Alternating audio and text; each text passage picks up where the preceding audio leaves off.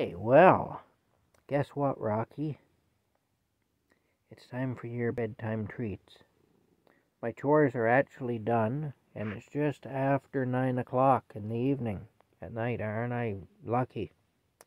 No more finishing my chores at one o'clock, one o'clock in the uh, in the morning, like it like yesterday. Well, that may happen again. I shouldn't say no more because it might actually happen again. But yeah, anyway, just checking my power banks here to see how much of a charge I have in each one. All right. Yeah. Okay. Um. Well, Rocky, it's time for your treats. I said treats, and he went right into focus. He came right out of stealth mode and went into focus when I said treats. Hey, we give you your greenies first, like we always do, eh? Two greenies. Here they are. There's your greenies.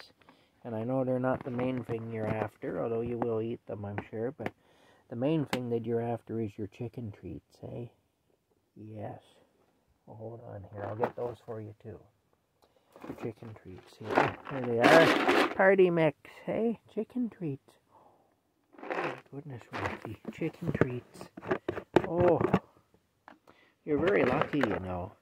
When I was a kitten, we didn't have treats like this true.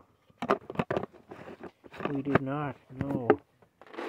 That was in the olden days. That was in the olden days, and we didn't have treats like this. There you go, hey. Anyway, there it all is. The hot water bottle bags are in the bed. Um, I got to get ready to go to bed, I guess. It's about time. Oh. Oh my goodness.